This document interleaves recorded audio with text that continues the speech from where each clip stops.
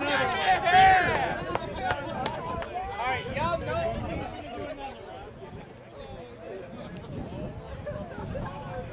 Darren, it's time to give up your trophy.